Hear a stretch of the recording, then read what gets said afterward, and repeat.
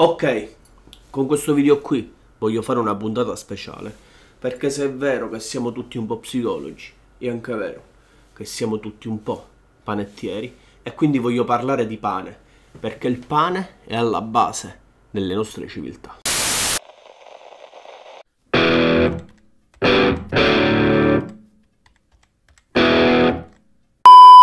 Da dove mi è venuta l'idea? Sto leggendo qualche libro che parla anche di questa cosa e poi negli ultimi anni, tra pandemia e guerra, una delle parole che sentiamo più frequentemente al telegiornale, oltre a benzina, è grano, perché quello che intimorisce i governi è il costo del grano. Quando il costo del grano diventa per una popolazione o una civiltà insostenibile, succedono le guerre, perché fino a quando il pane costa poco, andiamo tutti d'accordo.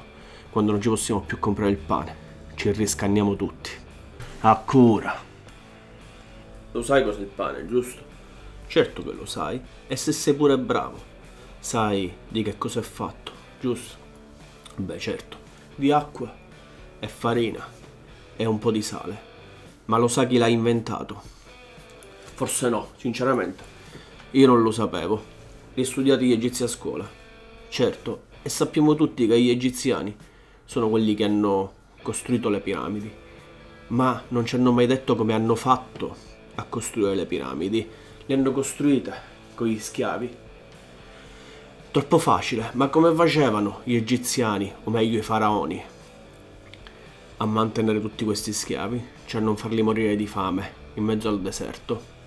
Col Nilo, che c'era l'acqua sì, ma grazie al Nilo si sono potuti permettere estese coltivazioni di grano per fare il pane. Le piramidi sono state costruite grazie al pane e il pane è stato inventato dagli egiziani circa 3000 anni fa. Sta cosa è fondamentale, com'è che non ce l'hanno spiegata bene, o meglio a me non l'aveva mai spiegata nessuno bene. Acqua e farina cotta e campi, ma come si è arrivati a cuocere acqua e farina? Ormai ce lo siamo raccontati anche in altri video. Prima le popolazioni non erano stanziali, erano nomadi campasiavano e mangiavano quello che potevano raccogliere o cacciare. E a un certo punto probabilmente qualcuno si sarà messo a mangiare. Chicchi d'erba, pure affamato, diceva ma io devo mangiare, c'è erba, c'è il grano, i chicchi, i semi dell'erba. Mangeresti mai i chicchi di grano trovati in un campo? Non li mangeresti mai. Eppure oggi è una delle coltivazioni che ricopre praticamente il nostro pianeta. Praticamente a un certo punto qualcuno avrà pensato, ah, questo chicco è troppo duro, aspetta che lo schiaccio, stava morendo di fame, doveva mangiare per forza. Quindi ha preso il grano e ha cominciato a schiacciarlo e ha inventato la farina, ho scoperto la farina, non lo so come si può dire, però a un certo punto era ancora brutta sta polverina tutta scassata in bocca e ha aggiunto l'acqua, ha inventato la sua prima sbobba, già acqua e farina, diciamo, si può mangiare. Però la rivoluzione è stata quando questi qua hanno cotto acqua e farina e hanno inventato il pane. Ci siamo già raccontati nel video dove abbiamo parlato del barbecue, che cuocere i cibi è ciò che contraddistingue praticamente l'essere umano dagli animali. Quindi questi qua, oltre a cuocere la carne, avranno cotto pure sta, sto miscuglio di acqua e farina e hanno inventato il pane.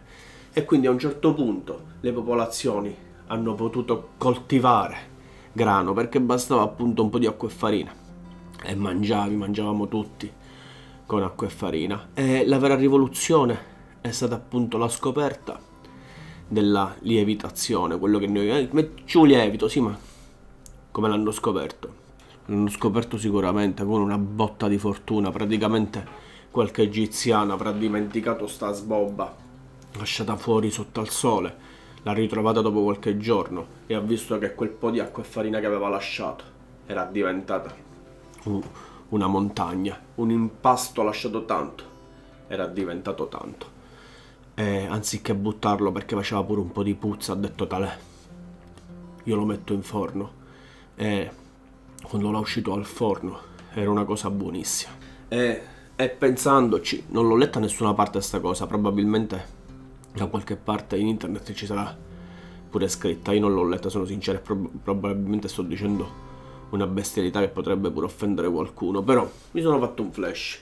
Ho pensato che magari quando si parla di moltiplicazioni dei pani da parte di Gesù come miracolo, è proprio questo, perché alla fine la levitazione è un miracolo. Può essere che quando si racconta del miracolo della moltiplicazione dei pani, è proprio questo, Gesù aveva scoperto in qualche modo la lievitazione naturale.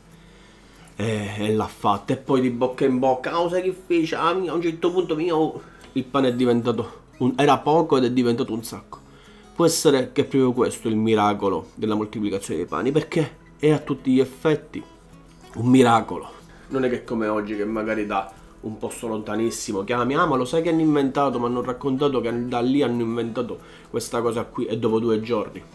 Eppure qua prima le distanze erano immense, non era così facile scambiarsi le informazioni tra le persone, non è come così facile che apriamo Facebook e vediamo il video che ha fatto uno a 10.000 km di distanza, così dice è incredibile, non era così facile, quindi probabilmente chissà cosa c'è dietro la narrazione dei miracoli, ma non è questo il problema. Oggi a noi interessa capire cos'è la levitazione e come si fa, perché appunto l'invenzione del pane ha permesso a noi, ha permesso all'umanità di, poter, di potersi unire in civiltà e cominciare a cambiare questo mondo. Fammi cambiare che facciamo questo esperimento. Allora, considera che oggi per fare il pane si usa il lievito di birra. Il lievito di birra si chiama così perché appunto è stato isolato, è stato scoperto nella birra, praticamente era il lievito che spontaneamente faceva fermentare la birra, è sempre un lievito naturale, però quando noi lo compriamo appunto è un lievito, cioè un singolo tipo di microorganismo isolato e liofilizzato, quindi messo a cubetti che poi quando noi usiamo riattiviamo mettendoci l'acqua e la giusta temperatura. Comunque è sempre un lievito naturale, ma si usa da troppo poco tempo, fino a cent'anni fa, praticamente per fare il pane, si è sempre usato quello che appunto chiamiamo lievito madre. E il lievito madre eh, si forma attraverso la fermentazione spontanea di farina e acqua. E per fermentazione intendiamo quel processo chimico, fisico e biologico che permette appunto ai microorganismi che sono dappertutto, cioè in questo momento io sono circondato di microorganismi e tu sei circondato di microorganismi. Nelle mie mani ci sono microorganismi che sono prevalentemente appunto batteri e lieviti. E sia batteri e lieviti sono organismi unicellulari, cioè composti da una singola cellula. I lieviti non sono batteri, ma sono funghi. Ora non mi chiedere la differenza sostanziale tra batteri e, e lieviti. I lieviti sono funghi, i batteri sono batteri, però i lieviti sono in ogni caso funghi composti da una singola cellula, non come quelli che trovi nei boschi, appartengono alla stessa famiglia, ma sono appunto funghi microscopici e unicellulari. Nel momento in cui noi mettiamo insieme farina e acqua, avviene quella cosa lì che attrae appunto all'interno di questo impasto questi microorganismi, perché questi microorganismi si cibano di quello che contiene questo impasto qui. Ma dici, e perché a un certo punto i batteri non vanno nella farina senza acqua? E sta cosa me la sono chiesta pure io. Ho detto, ma perché i batteri e i lieviti non vanno nella farina senza acqua? Perché praticamente non riuscirebbero a scomporre le molecole della farina, perché all'interno della farina, eh, quando metti l'acqua e quindi comincia a impestare, avviene questa cosa qui. Considera che non è il canale giusto per capire questa cosa, però te l'accenno per come l'ho capita io. Praticamente la farina contiene l'amido. L'amido non è altro che un, uno zucchero complesso, quindi quello che poi noi chiamiamo carboidrato praticamente. Comunque l'amido è uno zucchero complesso, complesso perché è composto da più molecole aggregate. Quando noi mettiamo l'acqua, quest'amido si scioglie e diventa zucchero semplice, ovvero glucosio. Quindi queste molecole che formano l'amido, fatte di zucchero, che compongono zuccheri complessi, si separano tutte e diventano zuccheri semplici. Appunto i microorganismi di cui siamo circondati si cibano di questi zuccheri semplici, in poche parole lieviti e batteri mangiano lo zucchero semplice e attraverso il loro processo metabolico poi emettono anidride carbonica e alcol. Emettendo anidride carbonica e alcol la farina appunto cresce perché attraverso il glutine che contiene e imprigiona l'anidride carbonica il pane o meglio l'impasto gonfia. Poi quando mettiamo in forno l'alcol evapora e rimane l'anidride carbonica all'interno del pane imprigionato all'interno delle sacche di glucosio. Questo proprio detto in modo velocissimo frettoloso e forse pure a tratti sbagliato, ma il concetto è questo, i lieviti attraverso appunto il loro metabolismo mangiano zucchero e, ed emettono anidride carbonica. Ci siamo capiti. E tu dici, ma com'è che stiamo parlando di questo all'interno di un canale di psicologia? Perché questa è psicologia senza poesia, e la psicologia è lo studio dei nostri comportamenti, delle nostre civiltà, dei motivi per i quali facciamo cose e perché siamo in un determinato modo e noi siamo il risultato dell'invenzione del pane e soprattutto studiamo che cos'è la vita e oggi stiamo studiando la vita del lievito e tu mi chiedi ma quando è che un organismo si può definire vivente? Rispondi, quando è che un organismo si può definire vivente? Da cosa capiamo che un organismo è vivo? Perché una pietra non è viva. E le persone dicono, vabbè, perché appunto non è un organismo biologico fatto di idrogeno e carbonio. E dici, vabbè, e cosa c'entra? Quella è la molecola, la molecola chimica. Da cosa contraddistingue un organismo vivente da uno non vivente? Perché il lievito, cioè quando è un organismo vivente, ha fatto una sola cellula, non lo vediamo, ma è un organismo vivente. Comunque detto proprio al volo approfittiamo di questo video per raccontarci questa cosa qui perché stiamo parlando di vita. Un organismo è vivente quando è capace di conservare e trasmettere energia. E tu dici, vabbè, pure le batterie lo fanno. Certo, infatti, però non basta, le, le batterie non sono organismi viventi. Perché oltre a conservare e trasmettere energia, gli organismi viventi sono capaci di conservare e trasmettere informazioni, non solo attraverso il linguaggio, ma prevalentemente attraverso il loro patrimonio genetico e i batteri e i lieviti dentro hanno il DNA e il DNA è un contenitore di informazioni, quindi i batteri e i lieviti si possono riprodurre ed è quello che avviene quando tu impasti e fai lievitare i batteri. Si riproducono continuamente, mangiano, emettono e si riproducono, mangiano, emettono e si riproducono.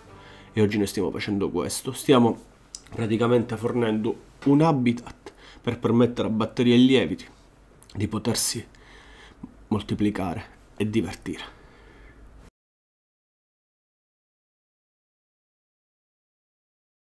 Allora, ho letto su internet tanti modi per fare il lievito madre, quindi ne utilizzeremo uno. Su internet hanno un sacco di ricette per fare il lievito madre che in realtà non sono che riassunti per, che tentano di velocizzare il processo che forma appunto quello che poi noi chiameremo il nostro lievito madre, ma forse abbiamo dimenticato di dire la cosa più importante, perché lo stiamo facendo?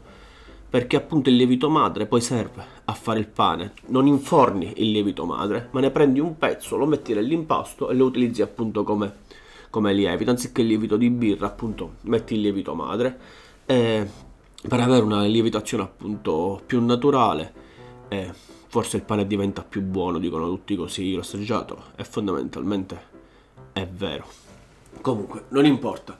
Oggi quello che noi facciamo è questo. E su internet ho capito che basta in teoria prendere 100 grammi di farina e 50 grammi d'acqua, metterli insieme e impastare.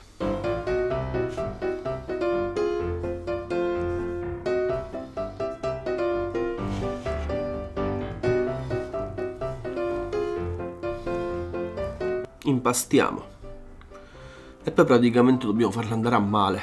Ho letto su internet che bisogna aspettare come minimo 48 ore. Dopo 48 ore aggiungere un altro po' di farina un po' d'acqua.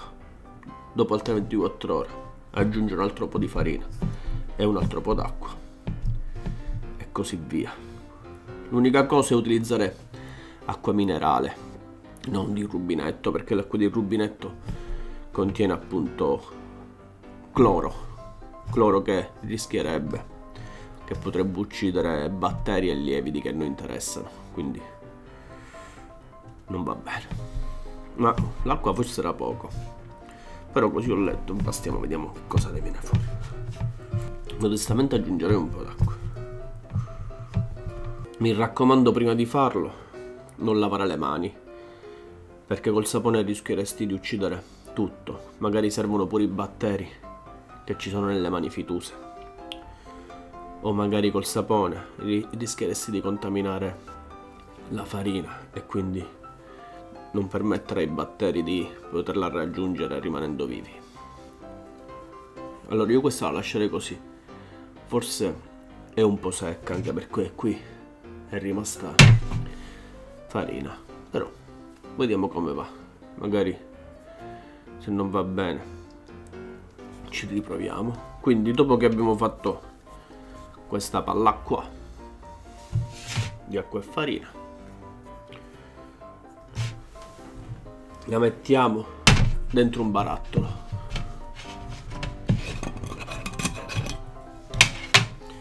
la mettiamo dentro un barattolo così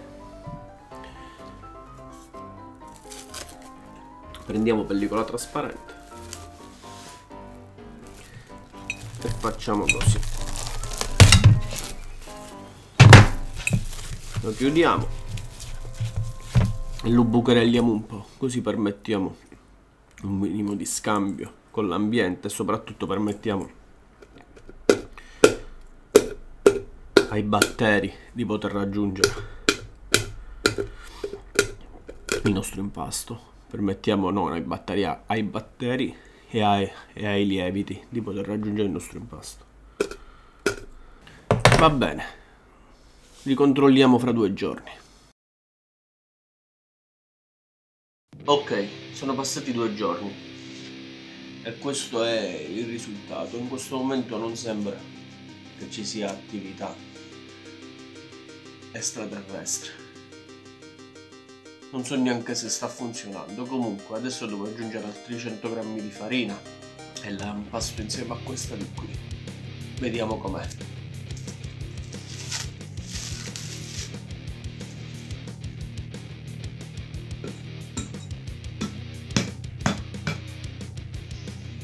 Non vuole uscire. Si è incollata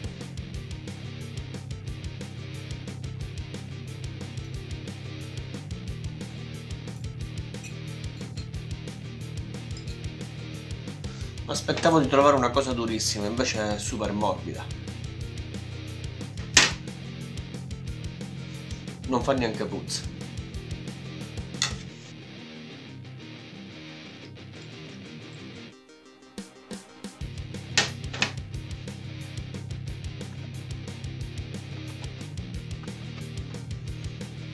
Devo sporcare tutte e due le mani, ne volevo usare una sola.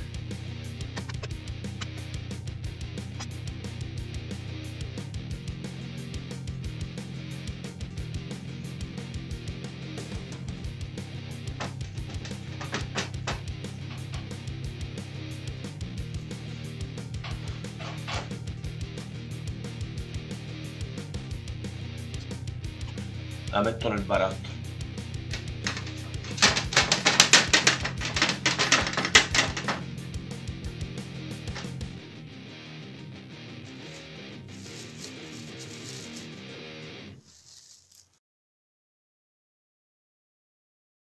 Ok, incredibile. Oggi è il quarto giorno e non mi va di andare nel laboratorio segreto per continuare l'esperimento, quindi facciamolo qui. Incredibile, ci siamo. Siamo al quarto giorno rispetto a ieri c'è vita ed è pure il doppio. Quindi oggi facciamo un altro rinfresco, cioè aggiungiamo un altro po' di farina con un altro po' d'acqua e un altro piccolo impasto e praticamente ci siamo. L'odore non è il top, però da quello che ho letto appena sarà maturo, quindi completo e utilizzabile, dovrebbe anche fare un buon odore.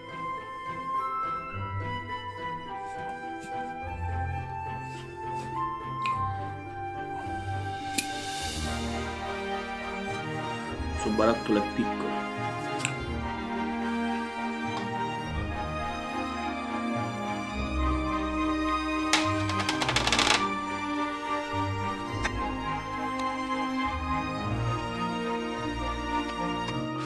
Non è molto lavorabile.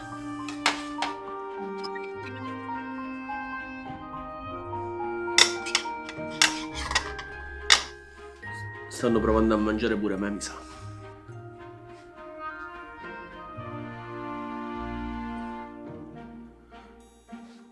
Fatto lo slime.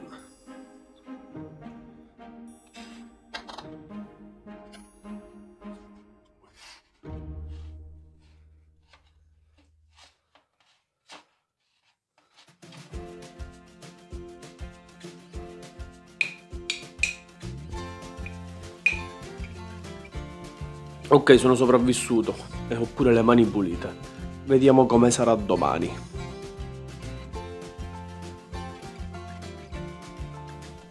Ok, è passato un altro giorno ed è collassato, quindi ho deciso di rifarlo in un altro barattolo, impastando altri 100 g di farina, altri 50 g d'acqua, però recuperando un po' di lievito già fatto, che è vivissimo, è un concentrato di lievito che potete vedere, pieno di bolle.